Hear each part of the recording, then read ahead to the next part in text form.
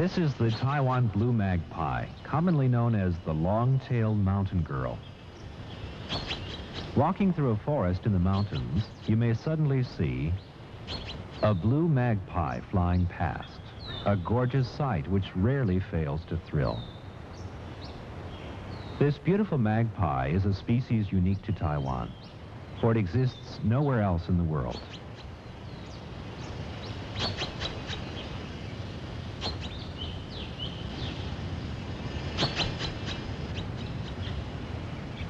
If the very last Taiwan blue magpie should disappear, this bird would vanish forever from the face of our planet.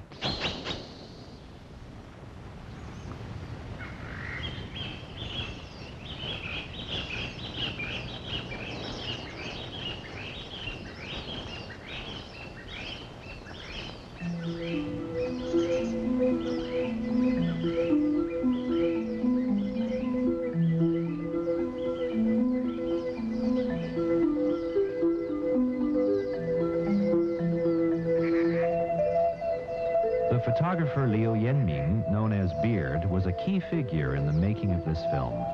His patience and courage saw us through many difficulties in the filming process. Some time ago, Beard was one of the very few freelance photographers in Taiwan to begin recording wildlife in nature using 16 millimeter film. He covered Taiwan independently from north to south, from coastal areas to the mountains, recording the habits of many living species in conservation areas.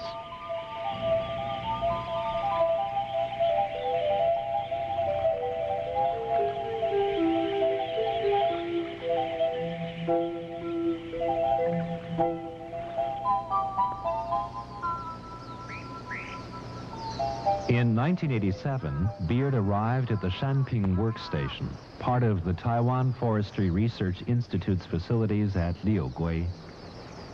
His initial purpose in going to Shanping was not to watch the blue magpie, but because this is southern Taiwan's largest experimental forest and still has a rich fauna.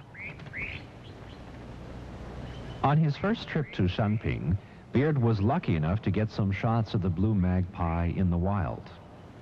Over the next three years, he returned here frequently to capture more segments of the blue magpie's life on film.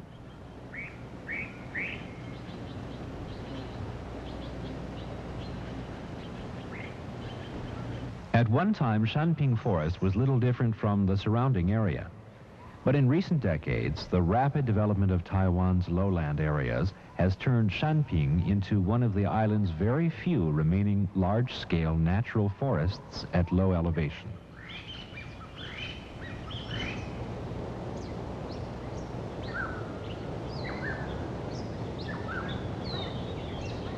While wildlife is steadily disappearing from the neighboring areas, Shanping still shelters a great diversity of animals.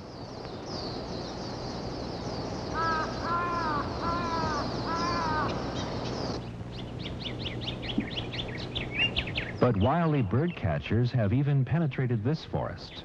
Serious bird trapping in the past once caused the blue magpie to disappear from here. For about five years, Shanping's research scientists saw no sign of the blue magpie.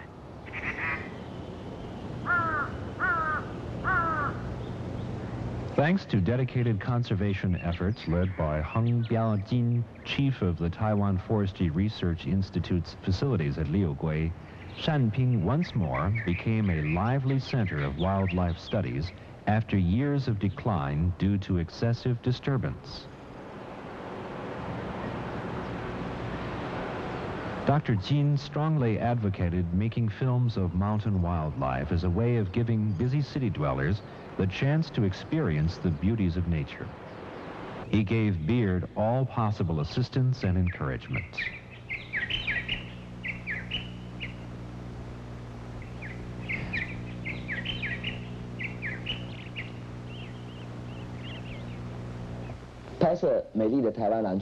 Photographing the beautiful Taiwan blue magpies is not the only work needs to be done.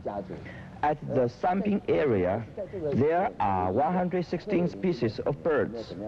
This nestful of blue magpies are merely one of many such families.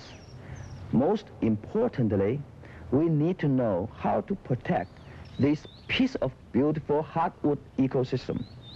How to protect it more. That's the most important.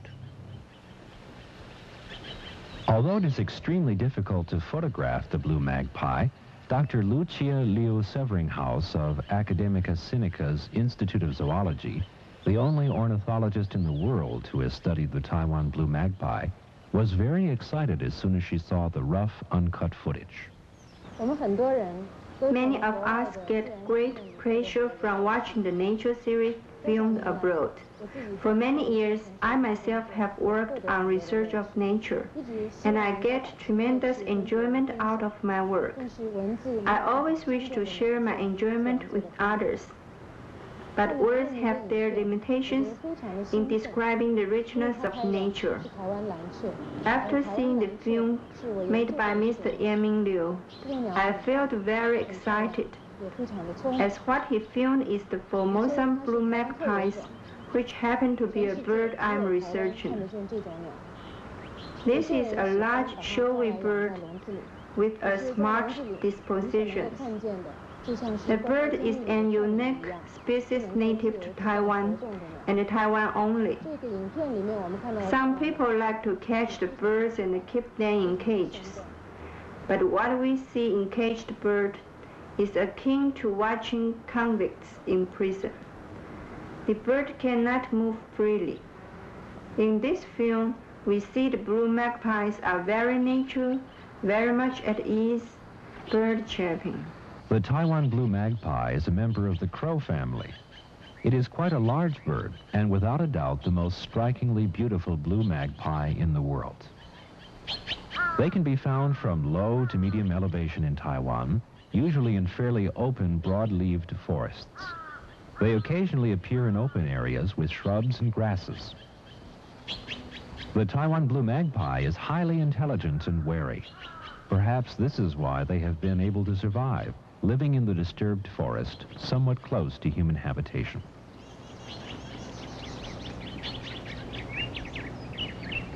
An omnivorous bird, their diet ranges from fruit, insects, reptiles, and small birds to leftover scraps of cooked food.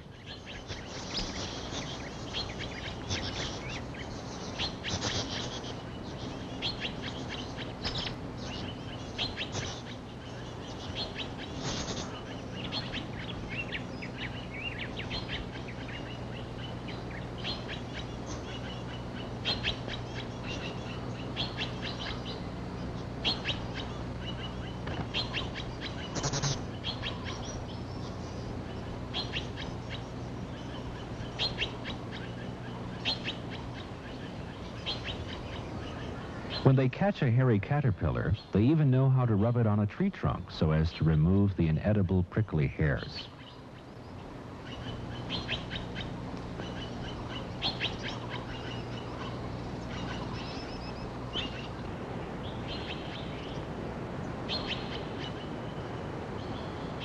The Taiwan blue magpie is strongly social and seldom appears alone. These birds are usually active in small flocks in the middle and upper parts of the trees. To make short flights, they often glide downwards, one after another in sequence. There seems to be a clear linear dominance hierarchy in a flock.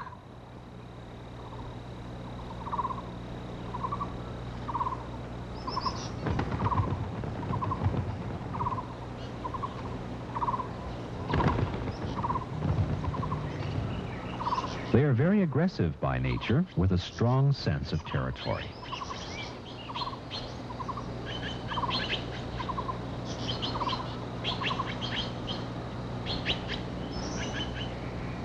At breeding time, the Taiwan blue magpie often builds its nest in the same spot for years, provided there is no human disturbance.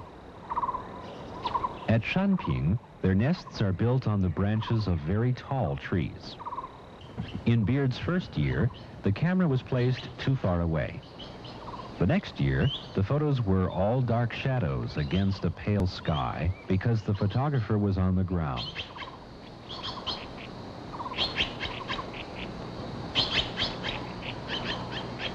In the summer of 1989, a full-scale search for nests was launched by the staff at Shanping, and Beard was full of confidence. Thanks to careful protection and minimal disturbance, this flock of blue magpies was observed from twig carrying and nest building to taking on the role of busy parents. Soon a clutch of eggs is laid.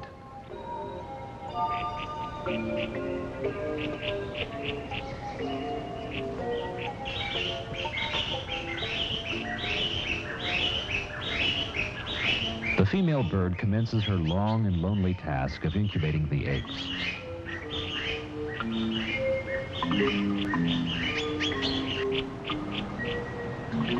During the incubation period, the male bird and other birds in the group frequently bring food to keep up the female's strength.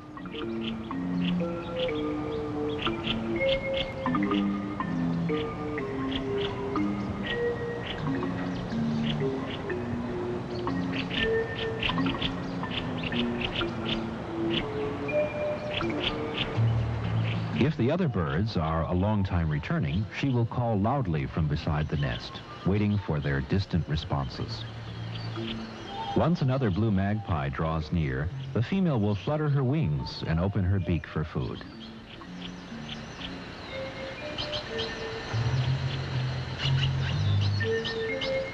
A blue magpie nest normally contains four to six eggs. The nest we filmed here has five.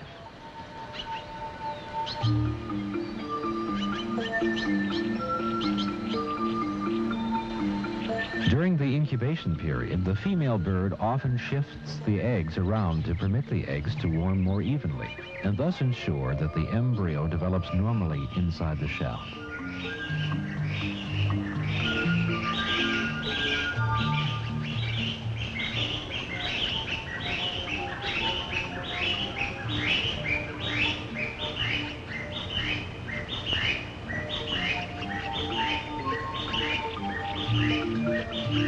Out he comes. All five eggs successfully hatched out as baby birds.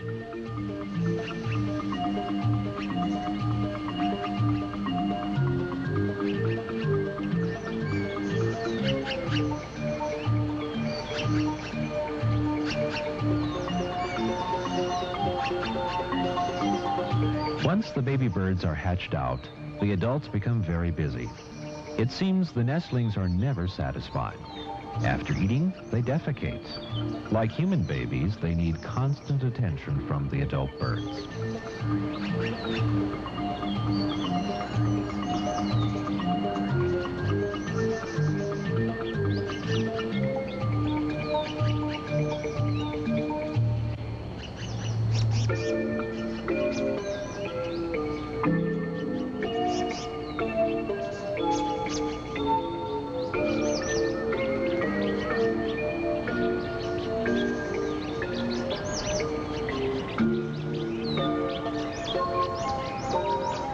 First few days after the baby birds hatch out, the female bird remains at the nest to look after them, relying on other birds to keep up a constant supply of food. After a few days, the mother also joins in the task of finding food and flying back with it. This flock of blue magpies has four adult birds. Now of the three birds owned by the nest, Two of them may be parents of the fledglings. The third one and the missing adult bird are helpers assisting the parents in raising the fledglings. The helpers are probably siblings from previous broods of the parents. This helper phenomenon is quite unique among living beings.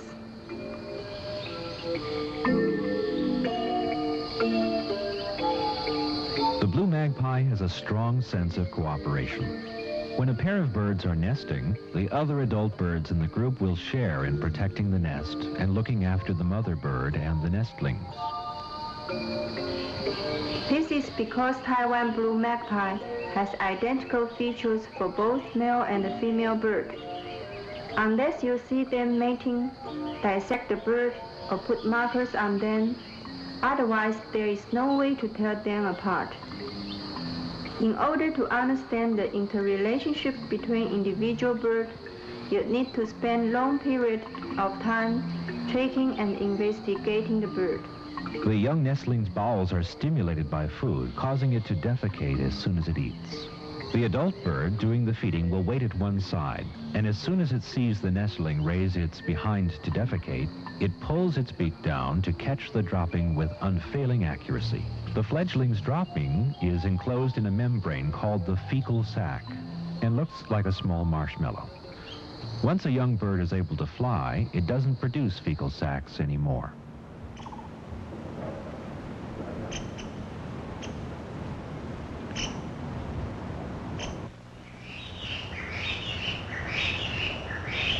During nesting time, the mother bird is the only adult bird that spends the night on the nest. The others sleep nearby in large trees with dense foliage. Their work starts at first light, feeding themselves and also having to feed those ever-hungry young.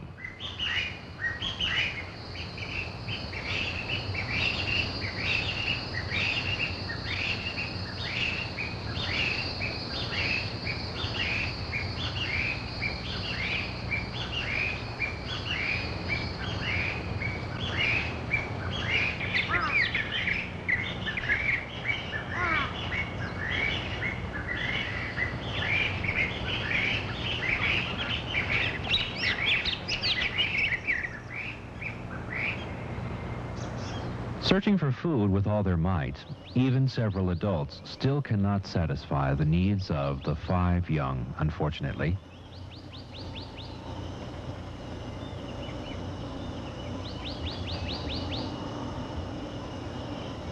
The nestling which has failed to snatch food a few times displays marked physical weakness in a few days.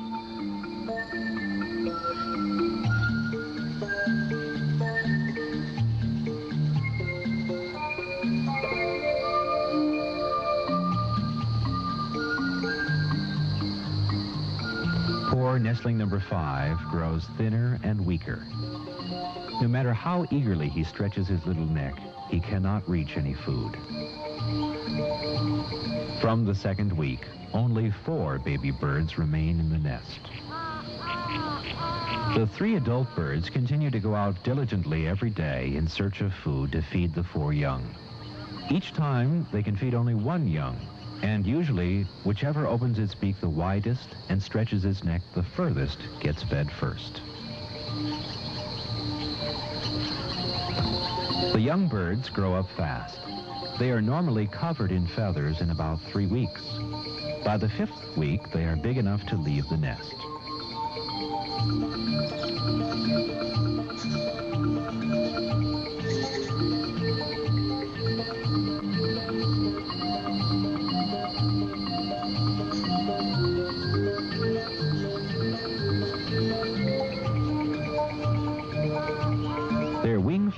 Behavior may indicate friendliness, but it more often serves as a way of begging for food.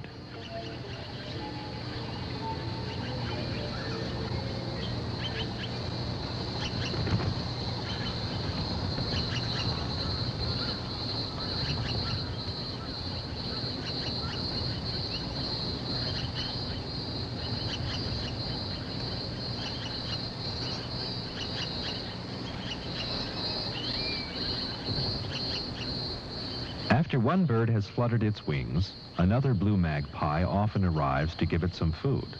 Sometimes it swallows the food. Sometimes it gives it to the young.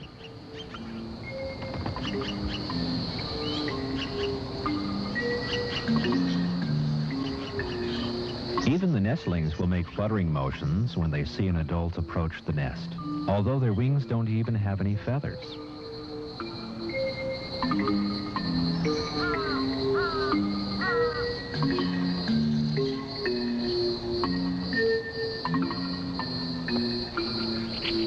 Four fledglings grow bigger every day, and soon the little nest is not large enough to hold them.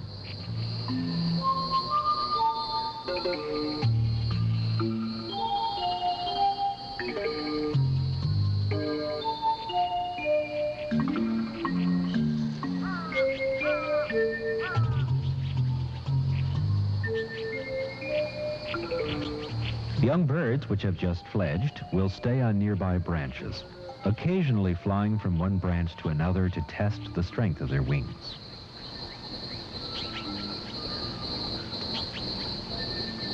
Although capable of flying short distances, they still cannot find food, and the adult birds must continue to feed them. Sometimes the adults will perch beside them to rest or to look after them.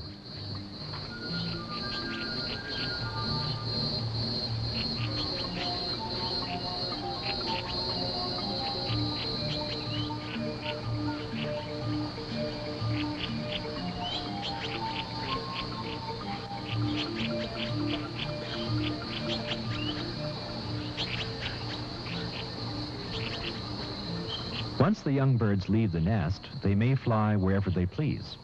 Their childhood comes to an end the moment they step out of the nest.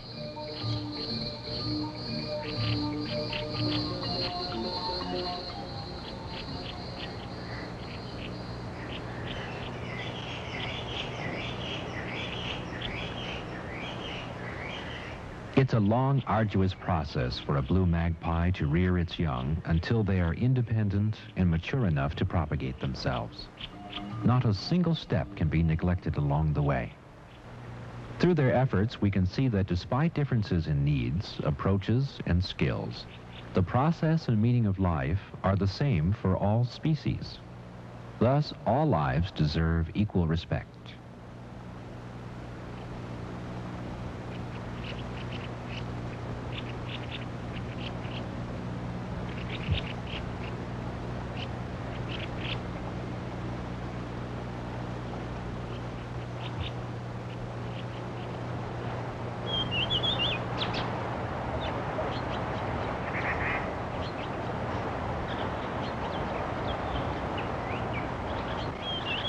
The beautiful blue magpie really ought not to be seen only among sheltered forests deep in the mountains. It should not be as uncommon a bird as it is today. Just imagine a hundred years ago when broad-leaved forests like this were widespread in Taiwan. The Taiwan blue magpie was a common species of bird. Today, there may be many other types of woodland birds apart from the Taiwan blue magpie, whose habitats are gradually being encroached upon by us. Strictly prohibiting bird catching and conserving our forests are the only way to protect the stock of Taiwan blue magpies, as well as to provide sufficient living space for many other species of woodland birds. Only in this way can our beautiful natural environment be preserved.